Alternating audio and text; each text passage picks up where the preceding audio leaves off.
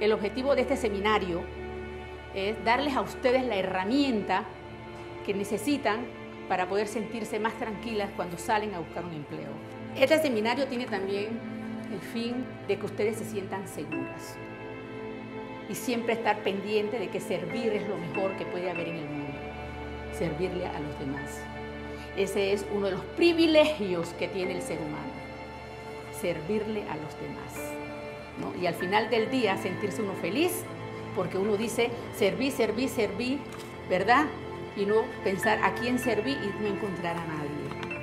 Así que todo lo que nosotros hacemos, todo, absolutamente todo lo que nosotros hacemos, tiene que ser siempre visto desde, desde los puntos de vista a quién voy, a quién sirvo y cuál es el provecho que estoy dejando yo en mi camino.